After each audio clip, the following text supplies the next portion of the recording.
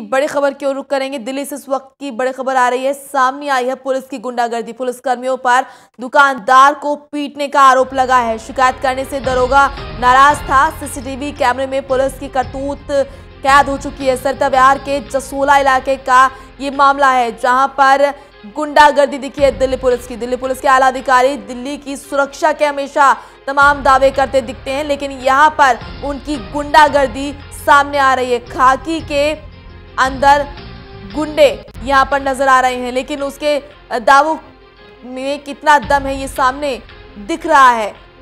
इसे दिल्ली के सरता विहार के जसोला इलाके में देखा जा सकता है, जहाँ एक दरोगा पर एक पुलिसकर्मी के साथ मिलकर एक दुकानदार की पिटाई करने का आरोप लगा है। पुलिस की इस हरकत की पूरी घटना सीसीटीवी कैमरे में कैद भी हुई है और बताया जा रहा है कि दरोगा दुकानदारों से हर महीने वसूली करता था। दुकानदारों ने जिसकी शिकायत उच्च अधिकारियों से की थी, जिससे दरोगा दुकानदारों से नाराज़ चल रहा था और उसी के बाद दरोगा ने यहाँ पर जो दुकानदार हैं, उनकी पिटाई की। बड़ी खबर इस वक्त की।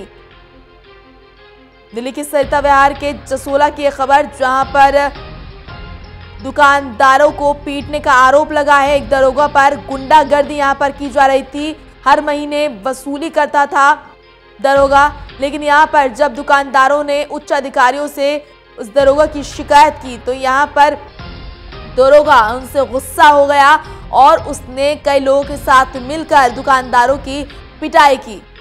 बड़ी खबर इस वक्त की आपको दे रहे हैं। दिल्ली पुलिस यहाँ पर लोगों की मदद के लिए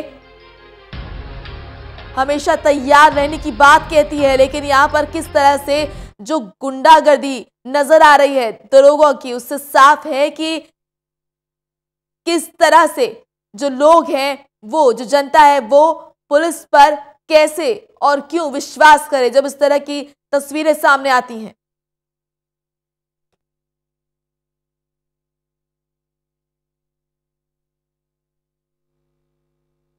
अजब सिंह सच्चो जो है बिहार का।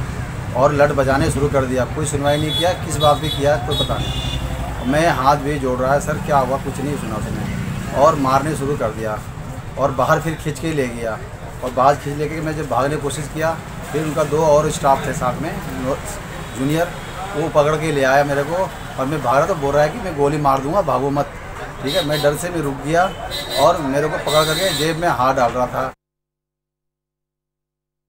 राकेश सोनी हमारे संवाददाता जुड़ चुके हैं। इस खबर पर ज़्यादा जानकारी देने के लिए राकेश, दिल्ली पुलिस की गुंडागर्दी सामने आ रही है और यहाँ पर दूसरी तरफ़ दिल्ली पुलिस किस तरह से सुरक्षा के दावे करती है और ये जो पोल है वो खुलती हुई नज़र आ रही है।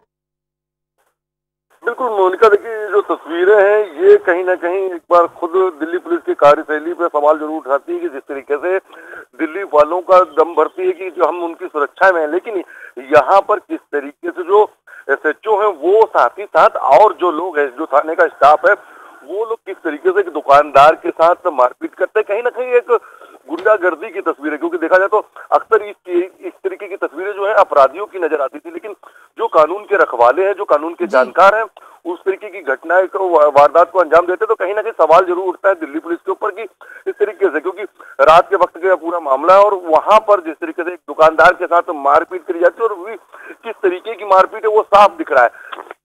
बिल्कुल सही कह रहे हैं आप, राकेश, किस तरह से यहाँ पर गुंडागर्दी देखने को मिल रही है, इससे पुलिस की कार्यप्रणाली पर सवाल खड़े होते हैं। राकेश, जिस तरीके से जो सीसीटीवी फुटेज सामने आई है, उससे साफ़ है कि जो दिल्ली पुलिस है, वो किस तरह से गुंडागर्दी करे तो इस पर क्या कुछ एक्शन लिया जाएगा इन दरोगा साहब पर?